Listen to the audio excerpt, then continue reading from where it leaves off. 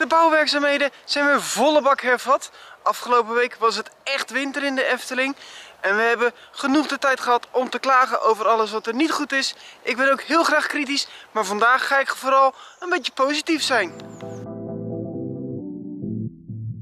Hey hallo allemaal, leuk dat je weer kijkt naar mijn nieuwe video. Mijn naam is Michelle en ik neem jullie vandaag weer mee langs het laatste nieuws vanuit de wereld van de Efteling. En ik begin vandaag in Bosrijk. Eh, dat is dicht geweest afgelopen week. Ze zijn daar volop aan het renoveren. Het badhuis wordt weer helemaal netjes gemaakt. En het eethuis, dat wordt ook helemaal verbouwd. Eh, ja, gaat volgens mij heel tof worden. En ik had nu natuurlijk een heel mooi uniek kijkje in het badhuis. Want normaal kom ik daar nooit, want dat is alleen voor verblijfsgasten.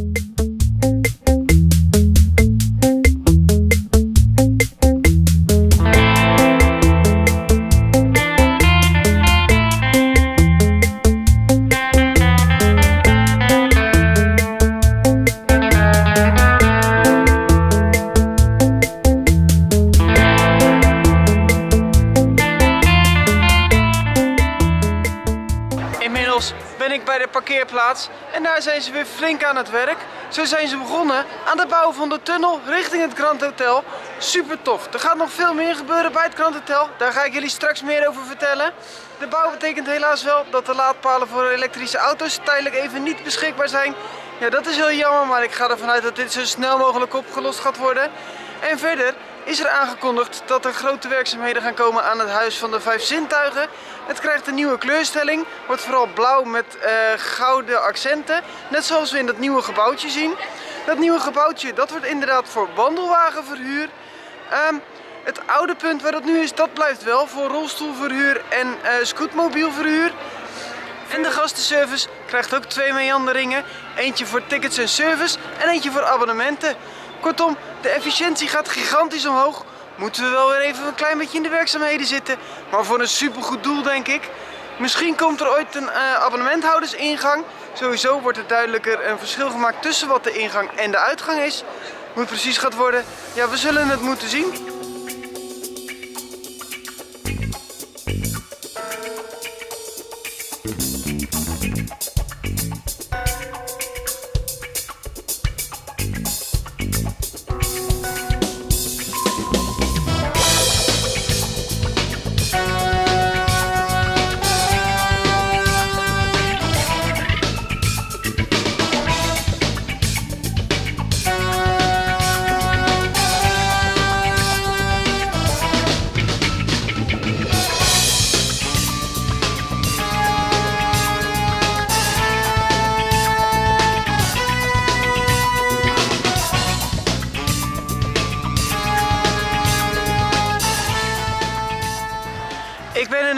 En ik begin bij het Grand Hotel.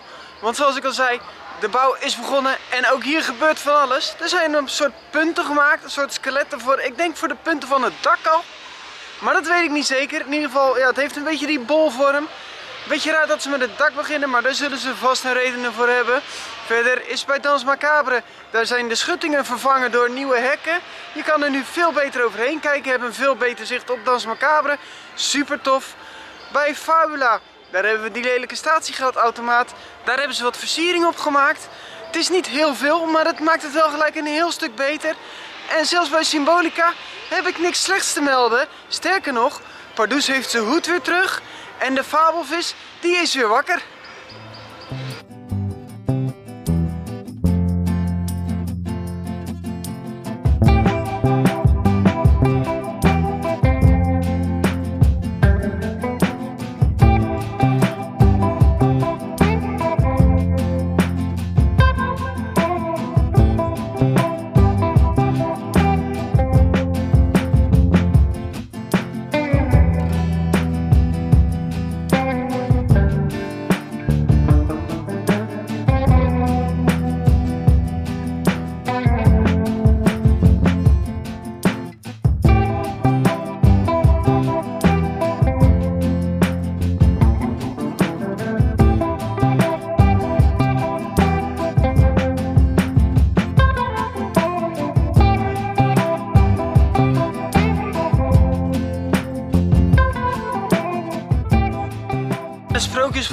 Begin ik weer bij Doornroosje. Daar zien we dat het heel groot deel van het kasteel nu uit de stijgers is. hebben we weer een super mooi zicht op. Bij het Kabouterdorp zien we dat het nieuwe waslijntje bij het paddenstoelenparcours nu ook kleertjes heeft. En Tobbelientje is helemaal klaar met de was. Ook zien we dat de kabouters zelf keihard aan het werk zijn, want er staan overal kruiwagens. Ik ga naar Langnek. Daar is de sjaal, die was aangevreten door de eekhoorns. Die hebben ze nu in ieder geval weer een beetje netjes gemaakt. Bij Pinocchio, daar is een iets minder positief dingetje. Daar is het vislijntje weer losgelaten. Ja, jammer. Dit gebeurt vaker, dus dat gaat ook vast weer goed komen. De trollenkoning, die is weer terug op zijn plek. Die vertelt weer mooie verhalen. De toverkool bij Rapontje, die klimt weer omhoog. Bij de wolf en de zeven geitjes, daar brandt het licht weer in het andere kamertje. Bij Klein Duimpje, daar ligt een kabel op de vloer richting het kampvuurtje. Dat lijkt me niet helemaal veilig, dus ik ga ervan uit dat dat heel snel opgelost gaat worden. Het sprookje van de nieuwe kleren van de keizer, die is ook weer terug. Kortom, bijna alleen maar verbeteringen gebeurd hier afgelopen week. En het was van de week winter, het was stervenskoud. Maar moet je gewoon eens even kijken hoe tof het Sprookjesbos eruit ziet in die kou.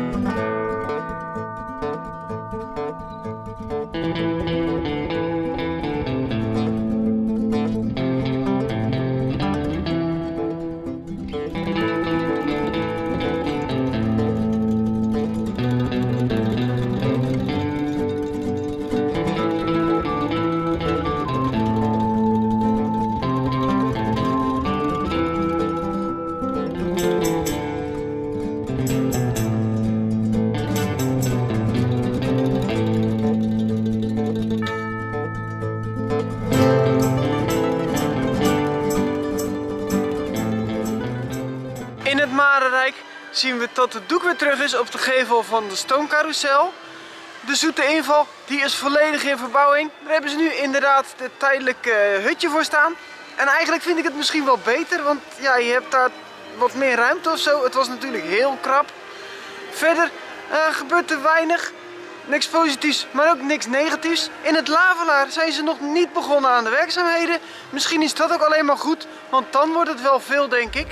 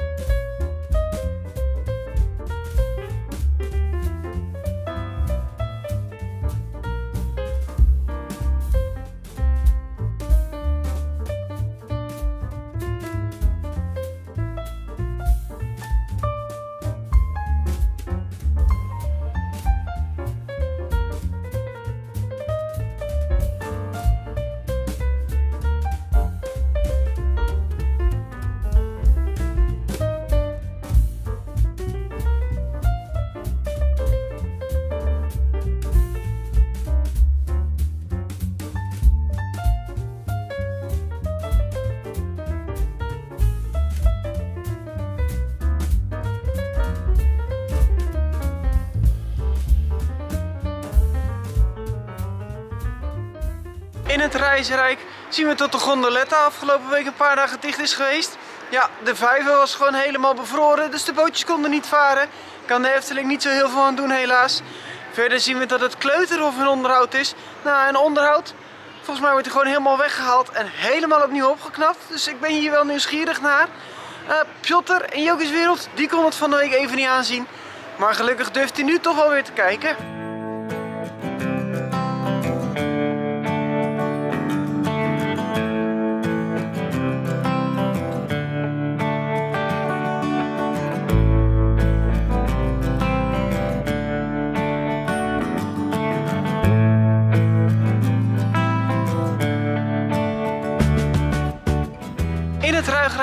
Is het kindersvoor open, de halve maan is open, de tuffers zijn open, de baron is open. Er is heel veel open. Ja, er zijn wat achtbanen dicht. De Vliegende Hollander, die is in onderhoud. De Joris en de Draak ook. En de Python. En die vind ik een beetje vreemd. Uh, die is van afgelopen week ineens dicht gegaan in onderhoud. De Efteling zegt dat het onvoorzien was.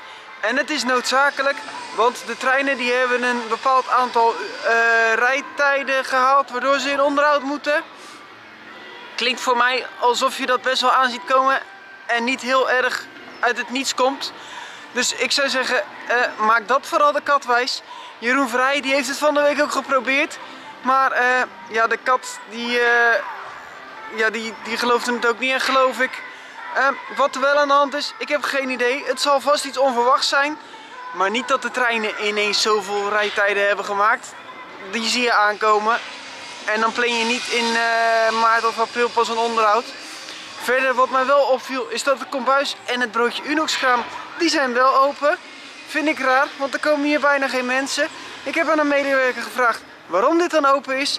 Ja, ze willen een bepaald serviceniveau aan de gasten brengen. Uh, dat begrijp ik heel goed. Die mensen willen toch een kopje koffie kunnen halen. En er is natuurlijk totaal niet een punt hier in de buurt waar dat uh, kan. I feel like I'm losing my mind Is everybody in the world blind? Please Lord give me a sign, a sign I feel like I'm losing my mind Is everybody in the world blind? Lord give me a sign, a sign. I wanna be the greatest. Everybody on the fake shit I look around and feel like everybody is the fakest. I make this every day and I'm impatient Hoping one day I blow up from the basement. Statement, the top is so vacant. I don't hear shit that I think is amazing. Waiting for my day when I'm playing. Sold out shows for a thousand faces Hey, give me that crown Get in my way and to be put down. It ain't your place, all this my town. If I want that shit then I'll get it right now I'm losing it, the noose it fits I'm losing shit, a stupid myth. You choose to live or choose to dip You choose to fight or lose your grip and lose a gift Oh. I feel like I'm losing my mind.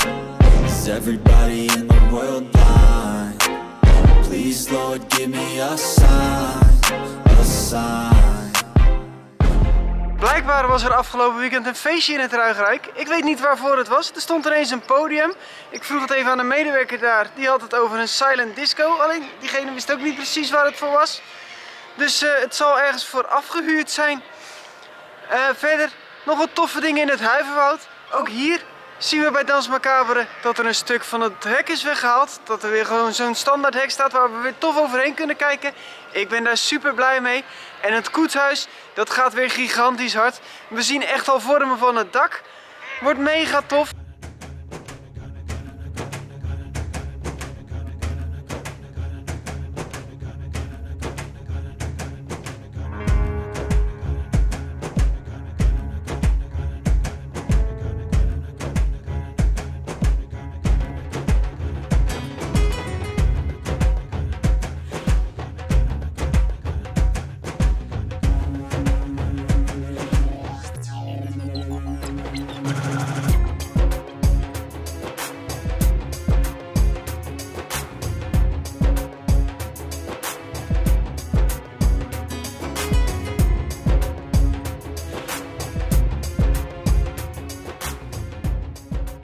Wat overig nieuws.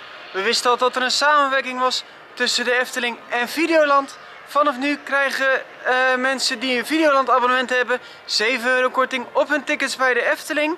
Verder wil ik jullie nog even erop attenderen dat komende zondag 21 januari een blokdag is. En we gaan nog even naar het onderhoud. Eh, ja, zoals we weten is de Piranha in onderhoud. De Vliegende Hollander is in onderhoud. Joris en de Draak is in onderhoud. En Ravelijn is dicht. En sinds afgelopen dinsdag is dus ook de Python dicht. Ik heb het net niet gezegd, maar die is tot en met 26 januari gesloten. Uh, komende week is het onderhoud dus precies hetzelfde. Ik wil nog even terugkijken op deze dag. We hebben afgelopen week heel veel geklaagd dat er heel veel dicht is in het park. En dat er overal bouwhekken staan. Ik vind het oprecht. Ik was eerst ook heel kritisch. Ik zag het allemaal langskomen. Ik denk overal is van alles dicht, je kan niks. Maar als je hier een dag door het park loopt... Ik moet zeggen, ik merk er niet zo heel veel van hoor. Ja, je hebt halverwege de kleuterhof die uh, weg is. Maar ja, hoe vaak kom je daar nou? Je hebt in een zoete inval, ja daar staan wat hekken omheen. Ziet er niet zo mooi uit.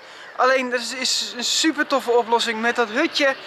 En ja, in Ruigrijk zijn achtbanen dicht. Dat is vervelend.